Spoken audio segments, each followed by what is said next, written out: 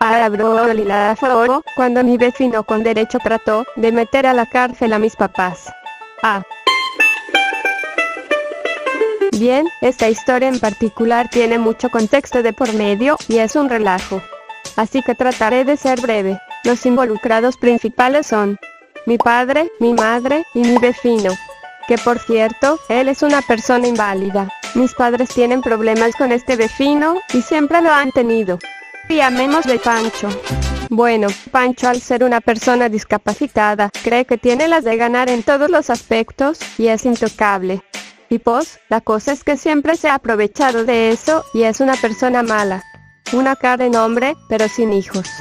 Literal, este hombre ha matado a nuestras mascotas, que en su mayoría han sido perros.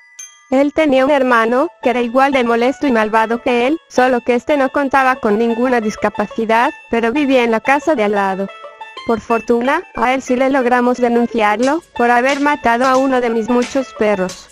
Si te preguntas cómo no le ha pasado nada a Pancho, hablando legalmente, pues, como dice mi padre, se le tiene lástima por ser inválido. Y además, tiene palancas.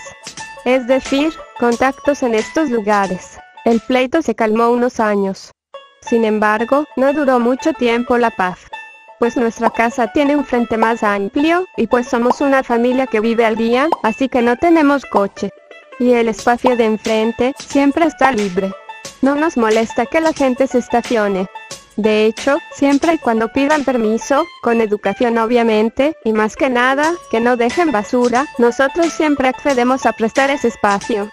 Pancho siempre estacionaba su coche en el espacio antes mencionado, tiraba bolsas de basura en la puerta de nuestra casa y su coche regaba mucho aceite. O la verdad no sé si sea eso, puesto que no conozco de vehículos, y tal vez no es eso, XD.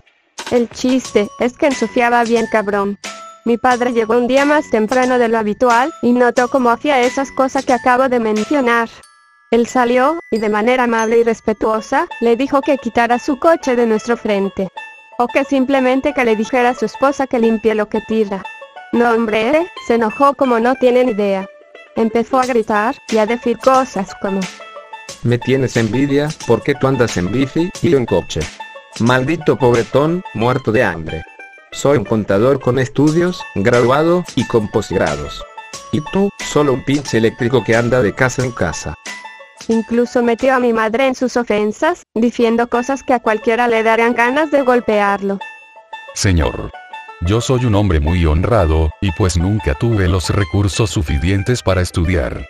Desde que tengo memoria trabajo, para darle la vida que nunca tuve a mi familia y mi esposa. Tu esposa no es feliz contigo, de seguro siempre tienen hambre. Nunca la has hecho feliz, no lo haces, y nunca lo harás. De seguro está contigo por mera lástima. Ouch. En fin, mi padre dejó el pleito. Y pues nos metimos a mi casa. Nos fuimos a dormir a las 11 de la noche más o menos, cuando tocan de manera agresiva la puerta.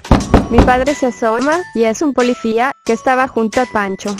Y dice, Señor policía, dígale a este pelado que la calle no es de él, y debe respetarme por ser una persona discapacitada. Mi padre ya de malas, solo cerró la ventana, y se regresó a su cuarto sin hacer ruido. El policía seguía tocando la puerta y golpeando la ventana, al punto que casi tiraba la ventana de los golpes. Y yo que estaba cerca de esa ventana, le grité, deja de estar chingando, o te denuncio. El señor creo que se cansó, y pues se fue. Eso fue todo lo que pasó por ese día. Pasaron unos días, quizá un par de semanas, hasta que llegó a mi casa un citatorio. Lo leí con mi madre, porque por desgracia mi mami no sabe leer. Y pues la carta decía resumidamente, que Pancho demandó a mis padres, por daños a la propiedad. No recuerdo exactamente qué decía, pero lo citaban por este hecho. Obviamente yo no fui porque era menor de edad. Pero mis padres me contaron lo que ocurrió.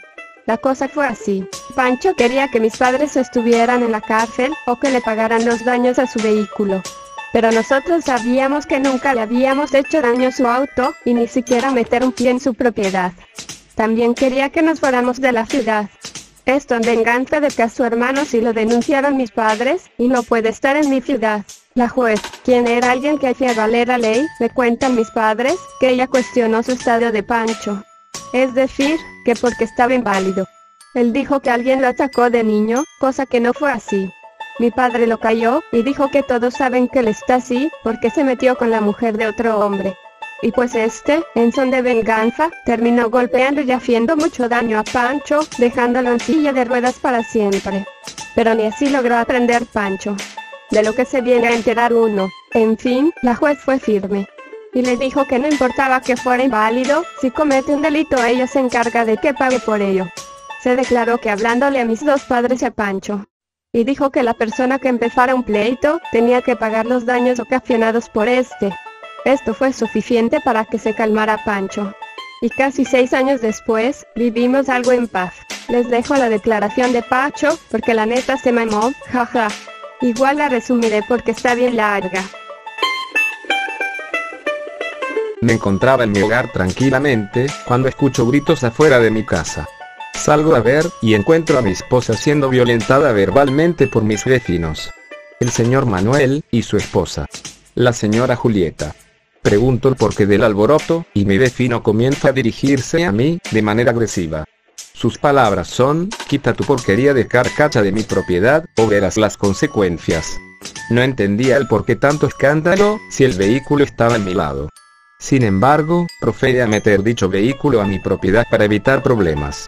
Pasaron dos días, y en estos dejé mi vehículo afuera. Me percaté que las llantas estaban ponchadas, así que las cambié, y procedí a dirigirme hacia mi trabajo.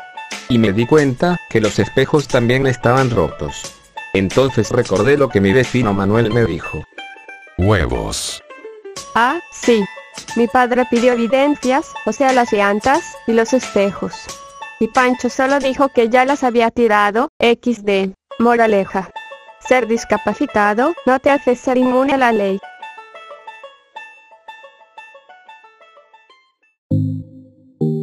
Muchísimas gracias por el vídeo. Ahora vamos con los saludos. Recuerda que si quieres el tuyo, tienes que ponerlo en el comentario fijado. Pero solo saludaré a los primeros 40. Así que activa la campanita de notificaciones para